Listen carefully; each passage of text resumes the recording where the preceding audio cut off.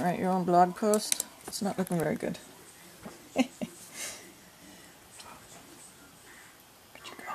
You gonna come back? What you doing? Looking for trouble over there, aren't you?